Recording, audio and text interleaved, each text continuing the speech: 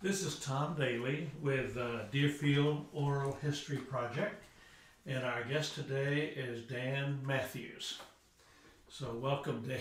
Thank you, Don. Thank Let's begin uh, with your full name and where you were born. I'm Daniel Paul Matthews. I was born in Chicago, Illinois, on January 14, 1933. Okay. What is the, we're going to go way back. What is the earliest, uh, who is the early ancestor that you know about?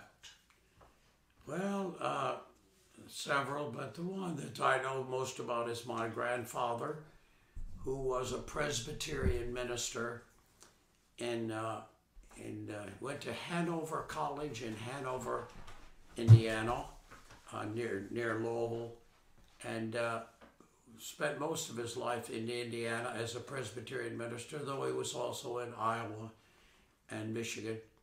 And he had uh, a wife who was an interesting, my grandmother, author of three novels, and uh, she was a graduate of uh, Cincinnati Wesleyan. So for her to have graduated from college in, in 1870, and he before that in uh, Hanover, Indiana, about as far back as I know a lot. Uh, but before that, they're just kind of names. But those are my mother and father.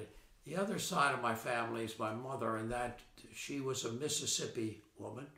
Grew up in a town called Canton, Mississippi.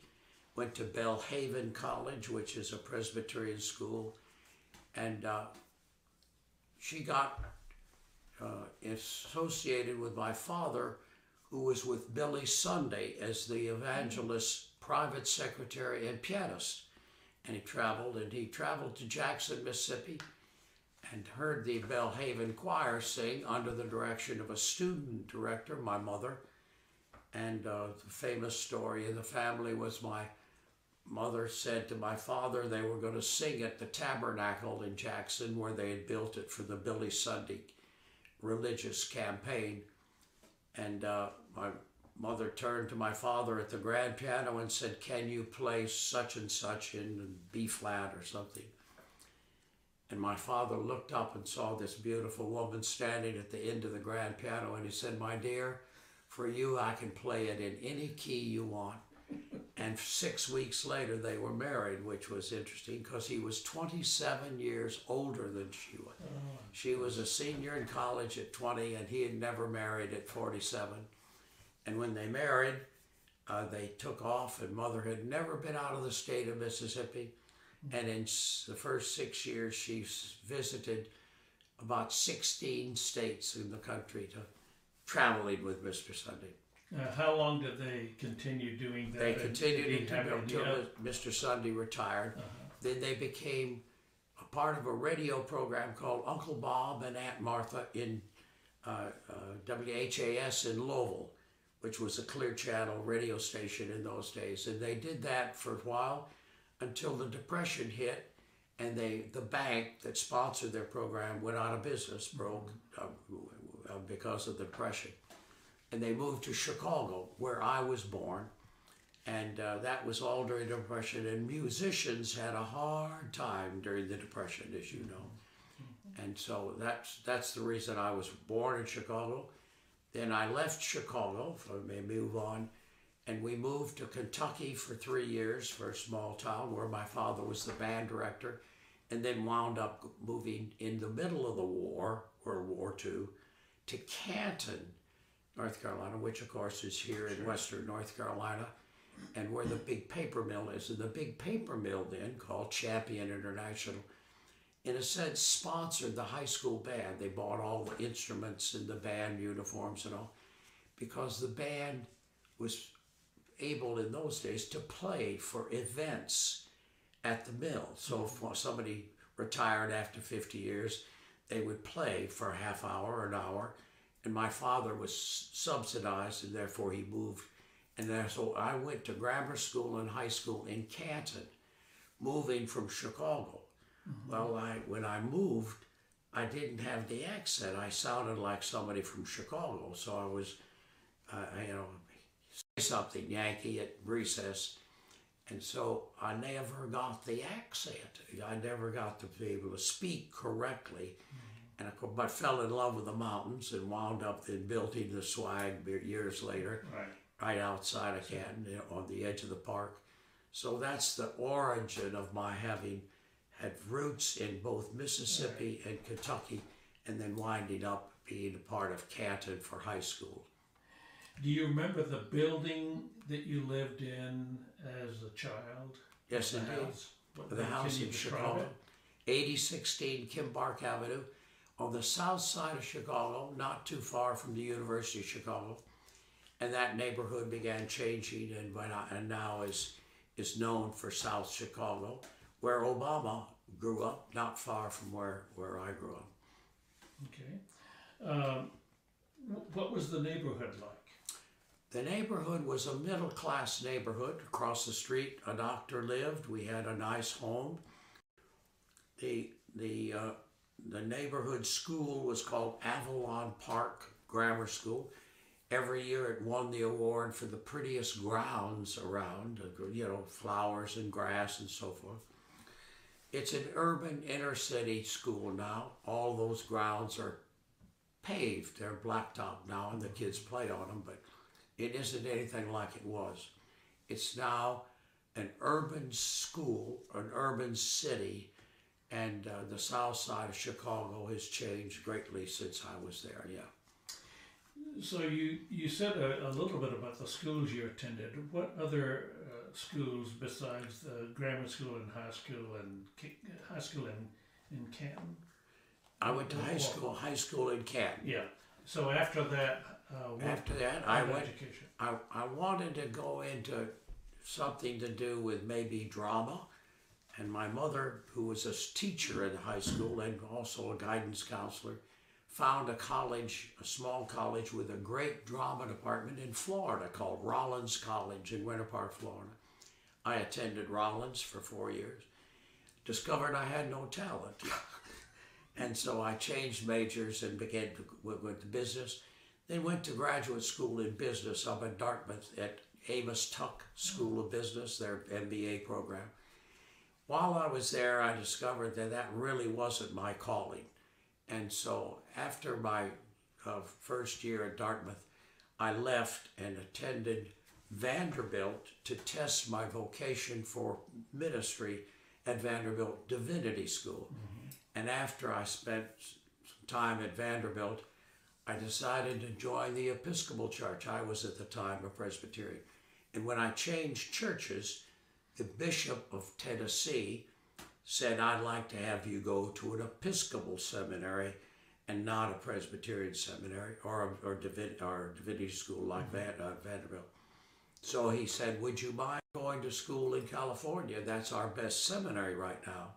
I said, I have no problem. I'm single. I'll be glad to go. So I went and spent three years in Berkeley, California at the Episcopal Seminary, which is called CDSP, standing for Church Divinity School of the Pacific. And who was the bishop that sent you there? The bishop secretary was a man named Bishop Barth, D.O. Barth.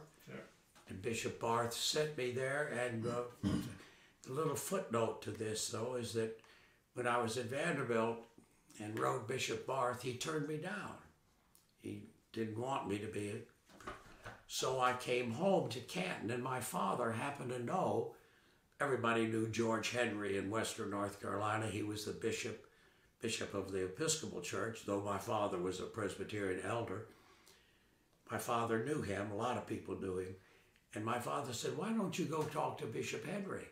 So I came and talked to Jack Tootin at Trinity Church, and Jack Tootin said, Let me call uh, Bishop Henry. And Bishop Henry accepted me. So when I went back to, to Vanderbilt and called Bishop Barth and said, Thank you very much, but Bishop Henry, is, he said, I'll accept you. so after I was turned down by Bishop Barth, I was accepted by Bishop Barth as a result of Bishop Henry. So I feel a very home at, at Deerfield because Jack Tootin's building named for him and, and Bishop Henry a building named for him, and the, both of those men created my ministry in the Episcopal Church. Do you remember a, a favorite teacher that you've had either in college or seminary? Or, Mhm. was a teacher I had in, in, in college. Her name was Florence Peterson, a woman, brilliant, gifted woman, who was a uh, who was one of the American scholars in the labor movement and wrote the definitive work called uh, uh, uh, all about labor unions and, and she was she lived with the Reuthers in in uh, Detroit for a while while finishing her PhD.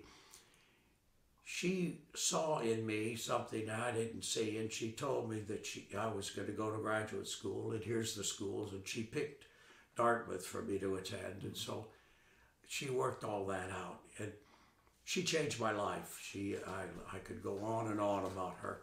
I never saw her smile. I never thought she liked me. Matter of fact, I knew she didn't like me.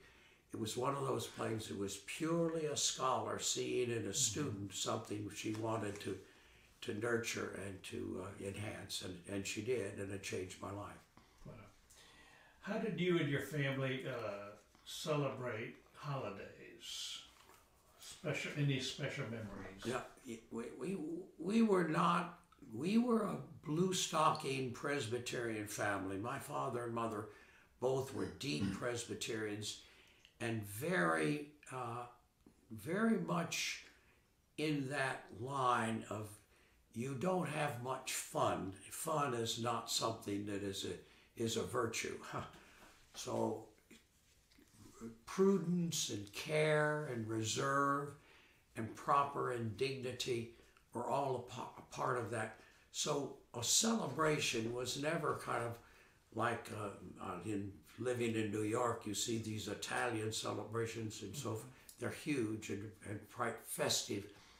We didn't have many festive things as as blue stocking Presbyterians. So we had celebrations, but they were very modest and they were very contained because it would be inappropriate to show too much eagerness and zest and, and frivolity. We didn't have any drinking. There was no beer or alcohol or wine of any kind in our family because that was not considered a part of our world. So when you say festivities, we had them, but they were very modest relative to what we'd think of as a festive event today. Do you have any brothers and sisters? I have a brother, uh, one older brother, Are just they still living? and he went to a college in Memphis, at a place called Southwestern in those days. Today's it called Rhodes College. and he was a music major, but he'd wound up going into the Episcopal Church too. And he went to seminary in uh, Cambridge at ETS, ETS. And uh, he was ordained and spent most of his ministry in Kansas and became a rector of a church in uh, the city of Lawrence, the one parish of the city called uh, Trinity Church Lawrence, where he was a rector for about 18, I I think it's 18 years, and got cancer and died in, in there. But is he older or younger? he's old, four years older, and he was not just my brother, but he was my best friend. He mm. was. We were very intimate in his in our theological thinking. And one of the interesting things we did, which I missed when he died, obviously, on Saturday night, I would preach my sermon to him on the phone, and then I finished, he would critique it, and then he would preach his sermon to me on. Saturday night and critique it. And uh, I never will forget an example. One time I told this story in my sermon, a beautiful story, wonderful, powerful story. And my brother paused at the end and he said, Dan, that's a wonderful, beautiful, powerful story. It just doesn't have anything to do with the sermon. Which was correct, but it killed me because I liked the story, just didn't have work with the sermon. But that was typical of what we would do for each other every Saturday. And did that for we did that each other for years. When he died, needless to say, my sermons took a dive. What brought you to this place uh, to retire here? When my parents died in Canton, North Carolina, they happened to strangely die very close, six weeks apart, both of them of heart attacks. And after they died, and they are, and we were, my brother and I received the inheritance from them. My brother said, "We don't need it. You use it for whatever you wanted." And about the same time, my wife's uncle in Columbus, Ohio, who was really a hermit, she'd never met her uncle, but he had invested his funds. He had graduated from Yale as an engineer, and he invested. And lo and behold, we, in, we inherited from him a sizable sum. And that, with my parents, we combined it and bought the property that became known as the Swag. And that property we built a large log home, which was really designed to be a, a retreat center as well as our vacation. We had never owned a home. Mm-hmm. In the Episcopal Church, you could ask the church to buy your rectory. So we had never mm-hmm. owned a home. The rectory had always been owned by the church. But this was our first home. So for 10 years, we ran the home as a kind of a retreat center on the weekends with youth groups and women. So for that, that's the week. And we built that not far from our where I went to high school in Canton, up in the mountains on the edge of the park, edge of the Smoky Mountain National Park. So that's the reason we're here, having lived all those years part time at the Swag, called the Swag Country Inn. We then, of course, knew about Deerfield and we put our names in the pot and wound up getting this house, this And you've been, cottage. you've been here how long? We've been here five years now. Okay. Well, you mentioned your wife. Tell me about her and how you all met. Yeah, good. Well, she was at Rollins College. She happened to be a senior the year I enrolled as a freshman, but she was in charge of freshman orientation, it was called. And I got to know her sort of that during that freshman week that we were. And she was so much older, I didn't really date her. We'd have coffee together and we were friends. And then she went on and graduated. Well, nine years later, I discovered that her husband, who was a graduate of the academy in in uh, in, in uh, uh, Annapolis and was pilot off a carrier, he'd had a plane crash, and I wrote her a letter and said, "Can I come by and see you? I'm going to be in Washington, where she lived." So we got together and, and met and decided to have another date or two, and then pretty soon we were dating and then got married nine years after we first met as students at Rollins. Okay. Uh, what what came from that marriage? Did you have children? Yes, Uh, we, we, uh, when we got married, she had had a child by John Sangster, her first husband. And that child was about three years old when we married, so I adopted Gail. And then after that, we had another child named Dan Jr., Dan, Daniel Paul Jr., and he is an Episcopal priest, having just retired from St. Luke's in Atlanta. And then we had a third child, Lauren, who's a teacher in a prep school, St. Uh, uh, Worcester Academy in Worcester, Mass. And they, they, she has four children. My son has two, and then uh, Gail, our daughter, has two. So we have eight grandchildren with our three children. Gail, uh, Deener, and I had. okay. Tell me about Deener. What is she like? Well, Deener, Deener is an extrovert. She is over the chart, over the top extrovert, which makes her a wonderful innkeeper, which is what she absolutely adored doing. Uh, she could hardly wait for the next car to drive up to the front door of the swag and open the door and welcome him, see who it was, and be because an extrovert gets, as you know, energy from other people, and she just loves the fact that there are other people coming to the inn. So Deener's extrovert personality, plus the fact that she's a phenomenal cook, and she did all the cooking for the first few years of the inn, which made it sort of just perfect fit for her, both the hospitality and the and the cooking aspect and the domestic aspect was all fit right up her skill uh, set. So she was a perfect innkeeper for all those many many years. And you are not an extrovert? Well, not anything like she is. No, I, I have to get away a little bit. She, I'm, I'm, I'm not an introvert by any means, but, but when you compare my chart, when we took the personality, my chart, I go this far, she goes off the page. an extrovert. So going back, what were you like as a boy growing up? Uh, what were your interests? Who were your friends? Yeah. I I I grew up a, a little different in that I was an outsider in a mill town. So if you grow up having been born and raised and with an accent from Chicago in Canton, we were two new students in the whole school system, my brother and I, the only two new students in the whole school system. Well, you could see that that was pretty much of a mill town, and therefore I, in some ways, I didn't fit in. I liked being there, and I enjoy the mountains very much, but it wasn't really where I was from. And so, in a sense, growing up in that high school, I became friends with people and made good friends, but still I was not what you would call a part of that culture in the mm-hmm. same way had I been born there.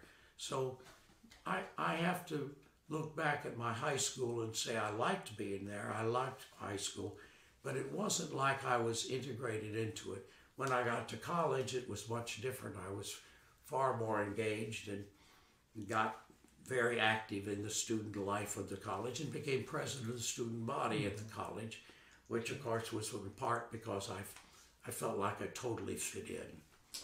Any particular stories that have been passed down uh, in your family? Uh, no, there there are the stories that we have in our family are stories really that centered around my mother and father and their relationship to this famous evangelist Billy Sunday, who at the time Yeah. was just as famous as Billy Graham is for us today. So they had an enormously exciting, glamorous world. They went from city to city and had these big rallies and, and uh, tabernacle settings. So they lived in a in a glamorous, almost show business type world all the time. And they went from hotel to hotel to hotel in major cities. I've gone into a few cities and gone to the public library to ask about uh, where is, you have a file for the Billy Sunday campaign that was here back in the 20s. Well, there, there are pictures and pictures of my father playing the piano and uh, Yeah. with Mr. Homer Rodeheaver, and they were they were they did the sort of things that uh, we Episcopalians are not as familiar with, but they would warm up the congregation for 45 minutes by singing and doing things.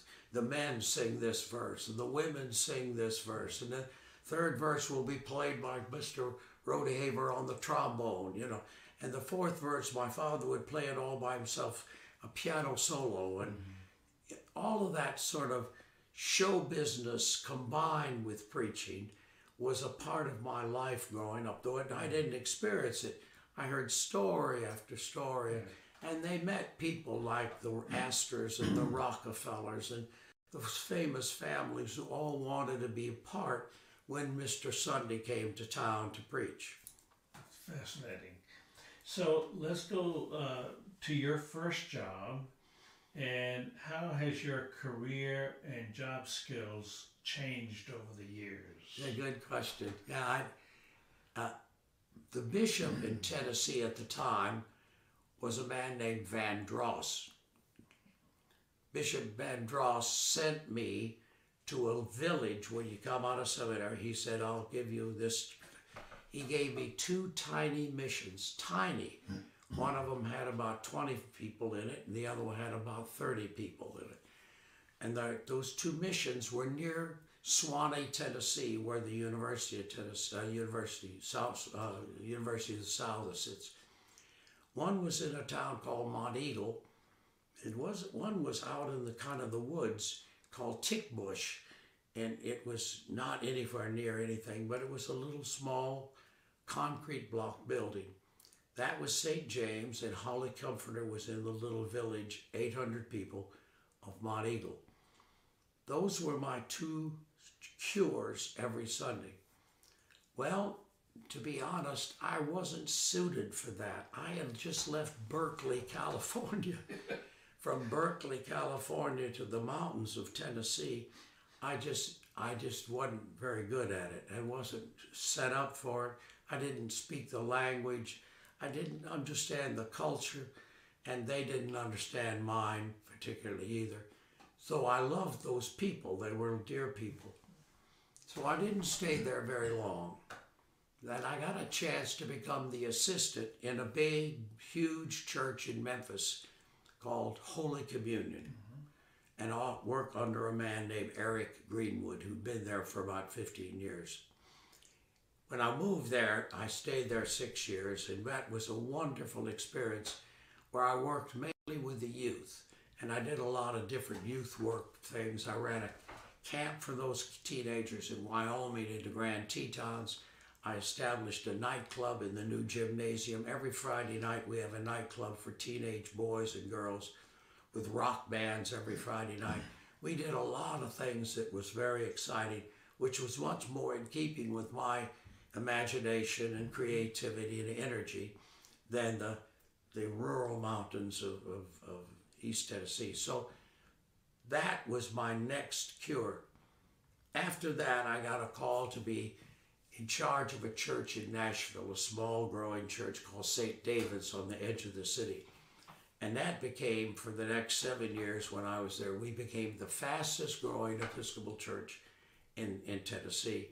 And we moved from 100 members to 500 members while I was there. And it was a very thrilling, exciting church. Almost everybody in that church went to the same high school. Everybody shopped in the same shopping mall. Everybody kind of played cards together. And that's, it was really a, a church that was easy to grow because everybody kind of wanted to know everybody. When I left St. David's in Nashville, a suburban church, I went to the downtown church in Knoxville, the old mother church called St. John's, now the Cathedral of East Tennessee. That was a radical move. But I decided that the hardest ministry in the church was downtown, and it was, it still is. But I wanted that challenge of downtown where you have different kinds of people. Just quick story. When I sat down with the youth group, God, I'd been doing the youth work in Memphis. I thought I'll have a great youth group. I sat down, there were 11 kids in high school in a circle, 11. And I went around because I knew how important high school was when you're in high 11 different kids were in 11 different high schools. You do not build a good group when each kid is angry at the other kid's school having been defeated by their football team the night for Friday night before. I discovered that you have different kinds of ministries when you're in downtown churches. You have people who are single who attend the church. Well, you almost never have in a suburban church single people. Not only single people, you have people who are very old in a downtown church. You don't in a suburban. You have people very young, very old. And so to meld and bring together into community, in sort of some sort of worshiping, caring community, a downtown.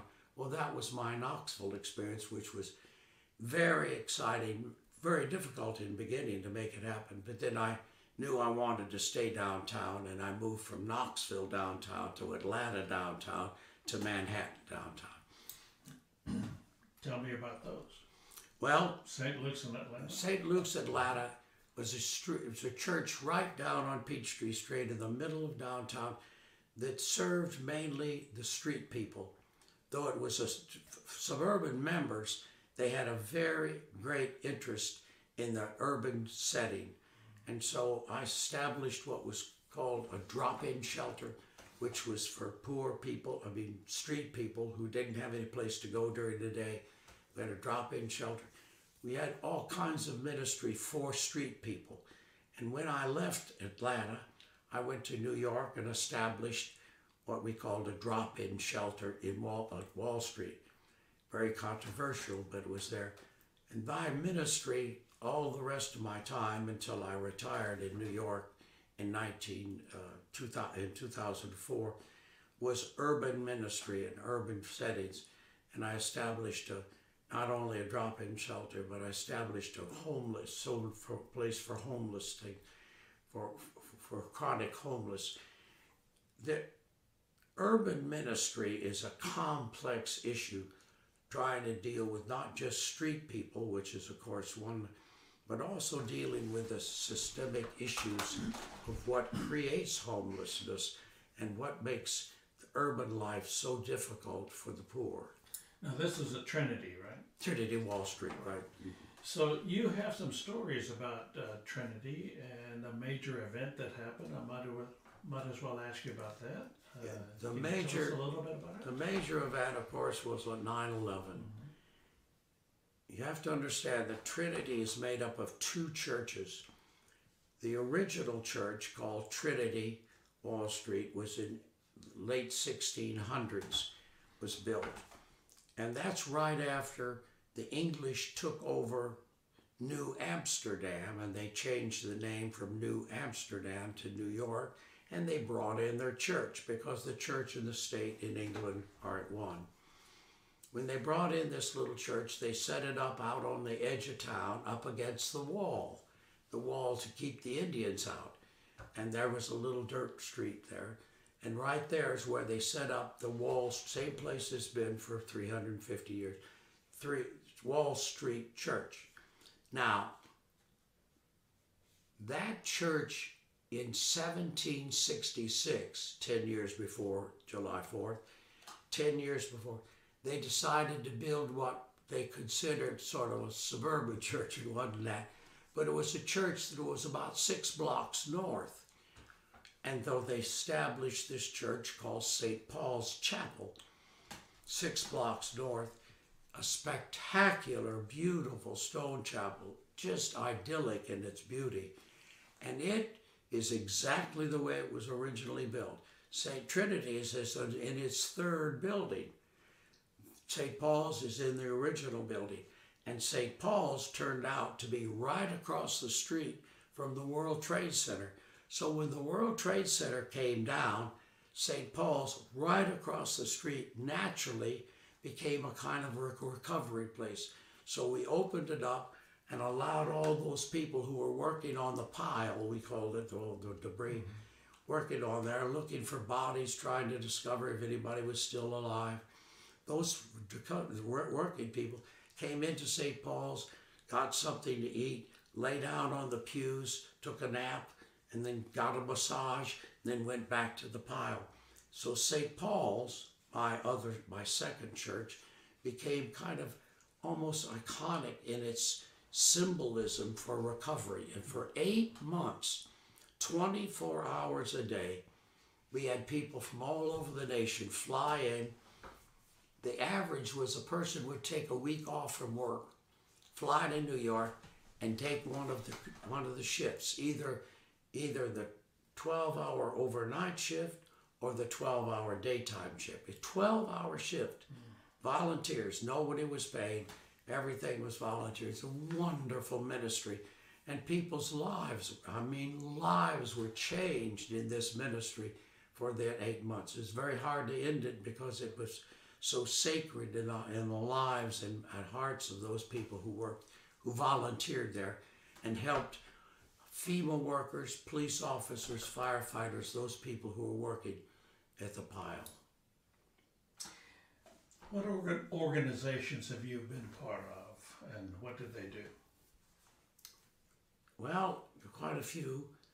Uh, the few, th- those that I've been a part of in chairing and creating, one was called uh, National Interfaith Cable Coalition. It was the, the cable companies got very discouraged by the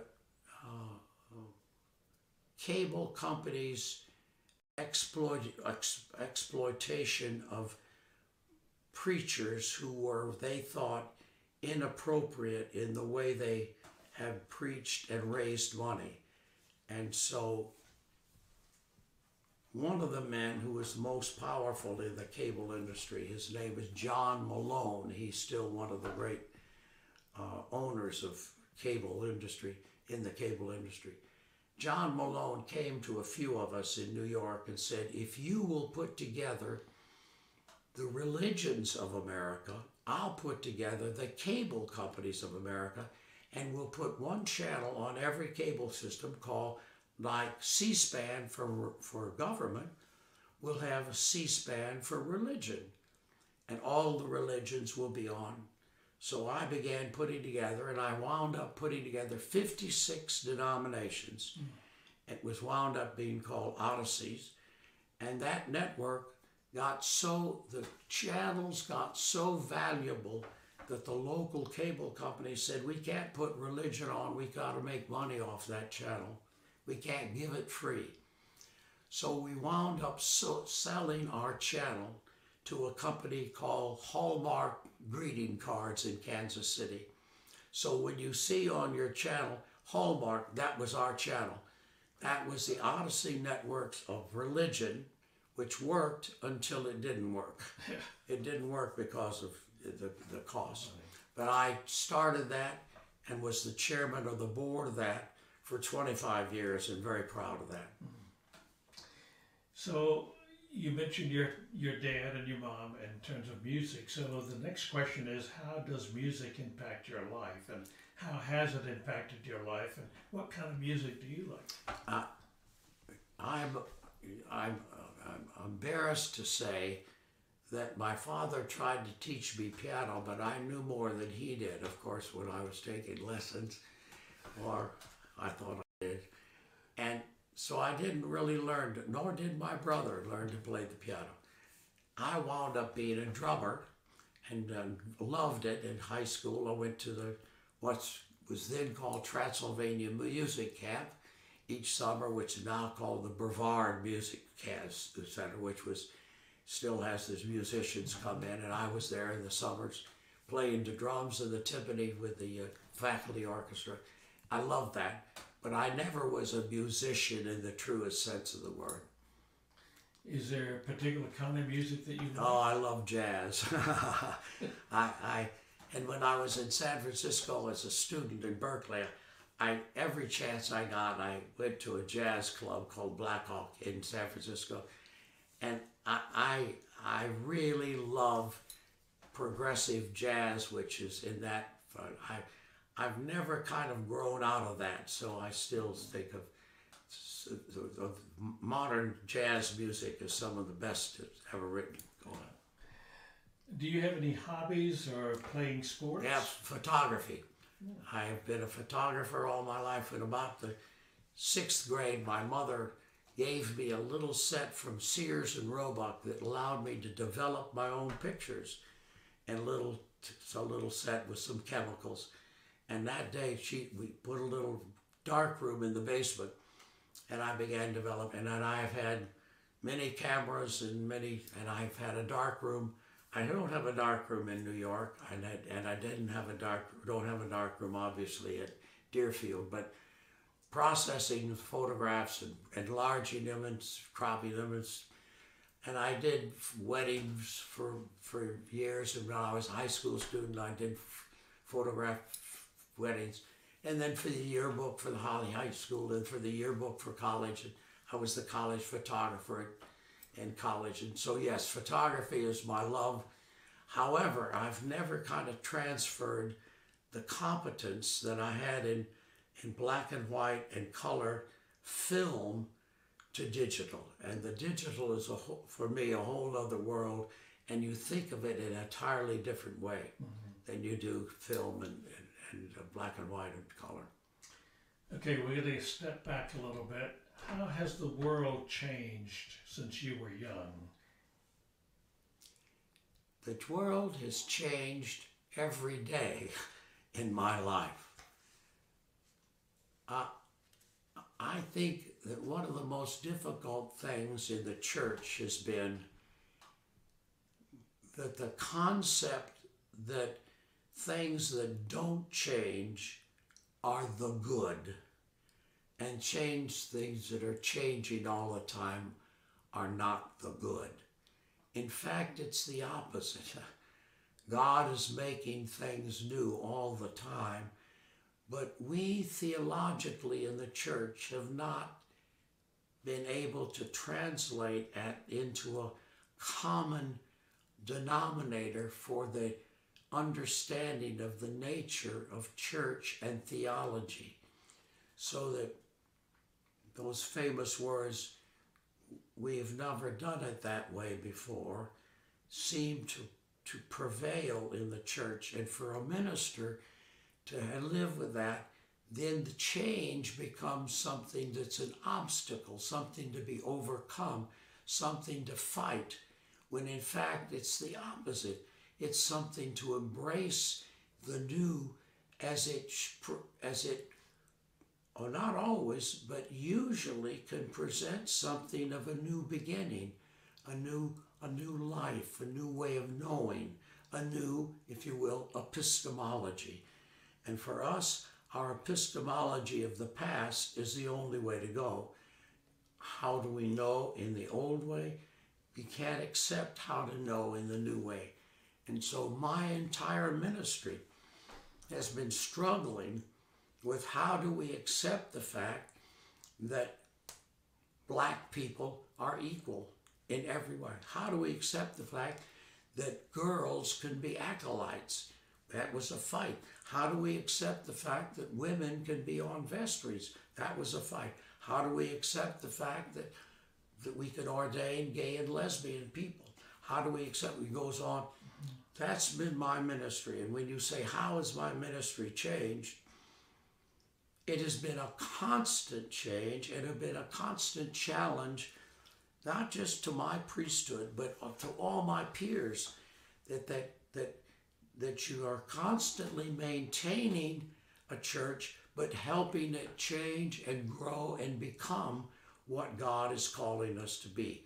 That that is really a very difficult thing because the Episcopal Church has not stayed st- stood still. We've moved ahead, mm-hmm. and when in moving ahead, it has cost us, and it's still costing us every day, as you know. What would you say are the greatest challenges that you have faced in your life?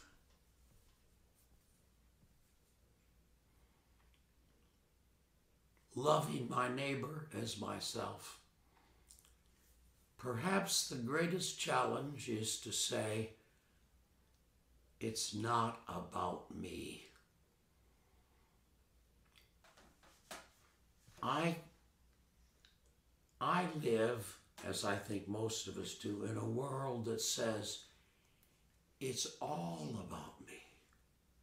Everything's about me. The more I can think about me, the more money I'll make.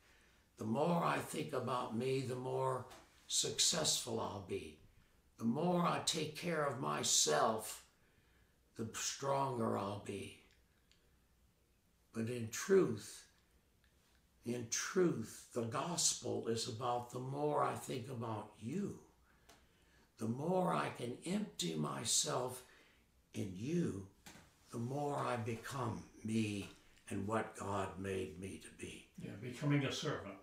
Servant leadership is talked about, but it is very, very hard to do in the dominant culture that says over and over again, with every advertisement I see, it's all about me. When in fact, biblically, it's all about my neighbor. And that's the way Jesus put it love your neighbor as you love yourself. Of course, you have to love yourself. You have to take care of yourself and nurture yourself in order that you might have roots deep enough to go out on a limb. Okay. Um, have you experienced or observed prejudice or racism in your life? And how? Yes, uh, I have uh, many, many times, constantly on some levels. I have resisted it and and challenged it when it seemed appropriate, and even sometimes when it wasn't appropriate. I hired uh, when I went to Atlanta. Atlanta's really a black city in many ways, and I hired a man who was a professor of law, but an Episcopal priest, black man, at the University of Tennessee in Knoxville, and I asked him if he would move with me when I went to to Atlanta to take this downtown church at St. Luke's. I said, I'm not going unless you come with me because I need a black priest on that staff in that city. He took a $10,000 cut and got rid of tenure, which was his, and came with me. He was the first full time black priest in any white congregation in the South. Hmm. So I did all I knew how to do and paid an enormous price when he decided he was single when he decided to marry a white woman in the parish which created enormous issues hmm. so yes i think i have faced it understood it worked with it everywhere i've been even in new york but mainly mainly in the south it's it's so pervasive. It is so ever present. It is really the the sin of the nation, as we have all called it sometimes. And yes, I we're coming through. We're doing good. We're doing very well with it, and lots of levels. And uh, of course, today we announced the paper announced that uh, the uh, Harry Belafonte who was a leader, and he and I walked together over the thing between Selma and and, and Montgomery, and uh, on the 40th anniversary of the Selma March, he and I and our son walked that walk together with mm-hmm. Belafonte. It was a wonderful moment. But yes, yes, I've experienced it, and yes, it's been a very great issue for all of us. But I am very proud of the Episcopal Church for having taken the leadership it has taken. Very proud. Last question. What has provided you with the most satisfaction in life? What are you most proud of?